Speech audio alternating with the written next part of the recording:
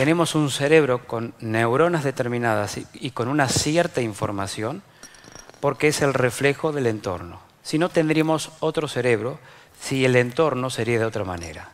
Si el entorno sería de otra manera, nuestro cerebro está obligado a cambiar su funcionamiento neuronal.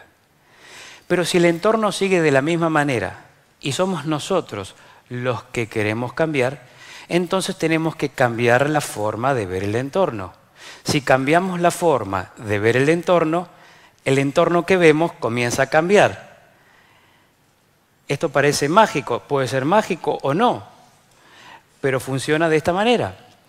Cuando cambiamos la forma, es decir, cuando tenemos una nueva información y un nuevo conocimiento y podemos relacionar las cosas de otra manera, entonces el entorno que se nos aparece, porque es apariencia, por eso es que se aparece, el entorno que es pura apariencia para nuestro cerebro, la realidad que es pura apariencia para nuestro cerebro, la realidad que ha creado nuestra mente para nuestro cerebro es la apariencia, es lo que aparece, es el holograma que aparece.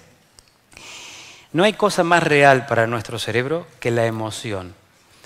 No así el entorno y el ambiente, porque el entorno y el ambiente es pura apariencia. El entorno y el ambiente lo estamos creando nosotros con nuestra mente. Con nuestra mente creamos a las personas que no queremos ver, a las personas que rechazamos,